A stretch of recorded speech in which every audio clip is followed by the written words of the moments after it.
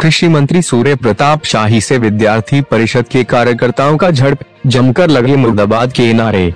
अयोध्या के आचार्य नरेंद्र देव कृषि और प्रौद्योगिक विश्वविद्यालय कुमारगंज के ऑडिटोरियम में खरीफ उत्पादकता गोष्ठी का उद्घाटन करने प्रदेश के कृषि मंत्री सूर्य प्रताप शाही पहुँचे थे।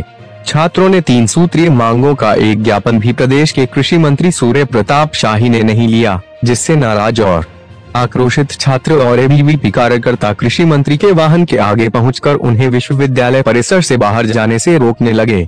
मौजूद पुलिस कर्मियों ने प्रदर्शन कर रहे छात्रों को घसीट घसीट कर कृषि मंत्री के वाहन के आगे से हटाया। उधर मीडिया कर्मियों ने कृषि मंत्री से समुचे प्रकरण पर जानकारी के लिए बात करनी चाहिए लेकिन उन्होंने चुप्पी साध ली। मामला यहाँ से पकड़ा तूल मंत्री जी के सामने विश्वविद्यालय। प्रशासन ने आठ छात्रों के खिलाफ दंडात्मक कार्रवाई कर दी। इस कार्यवाही से नाराज़ बीवीपी कार्यकर्ताओं और छात्रों ने प्रदर्शन करते हुए विश्वविद्यालय प्रशासन सहित पुलिस प्रशासन के खिलाफ जमकर नारेबाजी की। छात्रों का उग्र प्रदर्शन देख पुलिस और प्रशासन हरकत में आ गया और कृषि विश्वविद्यालय के दोनों प्रवेश द्वारों को बंद कर करा दिया। मंत्री जी क्यों छात्रों से आपने वार्ता नहीं की? क्या कारण है?